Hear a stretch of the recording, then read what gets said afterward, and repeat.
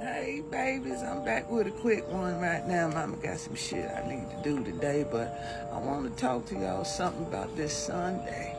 A lot of y'all dressing up, putting your wigs on, and putting on your best Sunday outfits, and you're going into these houses of worship, and you're worshiping God today. Called the Son of God. You know, there was a time they used to call us the people of the sun. Mm-hmm. Then they said we were sun worshipers back in the day. We wasn't worshiping no sun.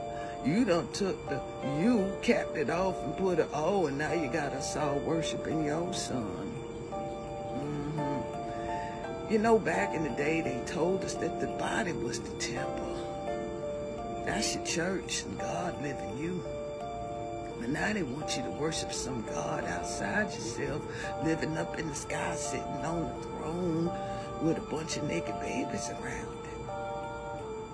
Y'all seen them pictures they drew a God up there with all them babies with no clothes on, with no mama around? Makes you wonder. But let me ask you something, baby. Let me tell you, as long as you don't think God live in you, and live outside you, they gonna harness all your spiritual power, baby.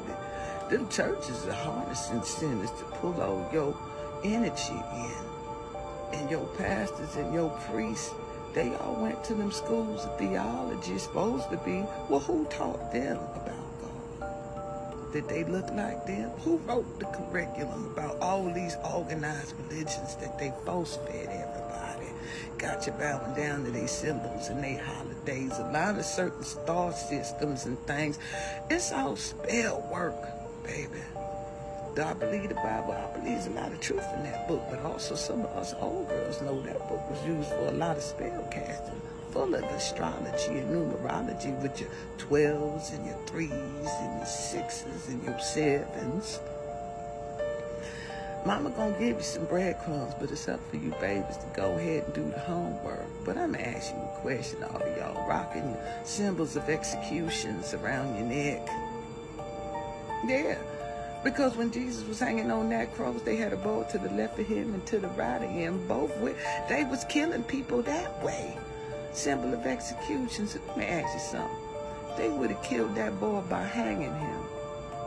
Would you all be wearing nooses around your neck? Makes you wonder.